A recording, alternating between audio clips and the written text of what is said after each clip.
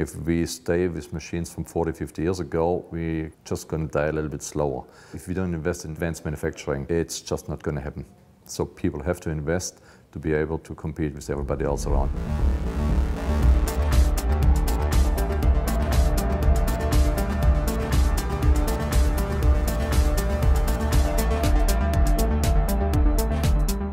Manufacturing is entering a new innovation driven era, and this couldn't come at a better time. Global competition, trade barriers, and a lack of skilled workers are threatening Ontario's core manufacturing industries.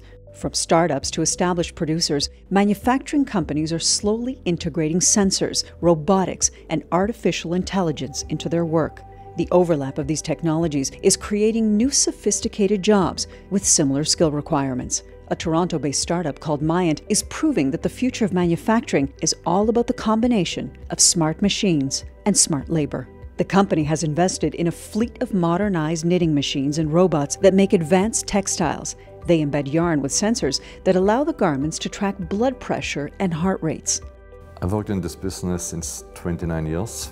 Back in the days, obviously, it was building machines, selling the machines, maintaining the machine, servicing, setting up the machine, doing training and programming. There was a total shift from apparel to computing, textile, automotive, sports and so on, which uh, just opened a whole a new revenue, which is something we would have never thought possible doing. There are 30,000 jobs waiting to be filled in the Canadian manufacturing sector. By 2026, an additional 55,600 workers will be needed. Manufacturing startups like Myant will be looking to hire workers with different types of talent, skills, and points of view. In at least the last 18 months, uh, we have been reaching out pretty much to every uh, skilled market in the industry.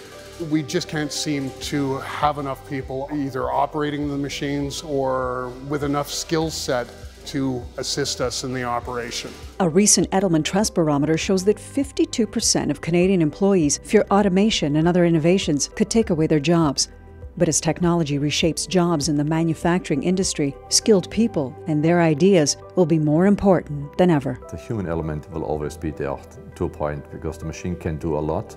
And obviously you want to uh, produce cheap and you can only do it with advanced technology, but there's all, always a human part in it you really gain more and more jobs on the other end. There's always somebody involved. Somebody has to make the machines. The, the machines are the machines. You can pretty much pick them up from any supplier on any given day.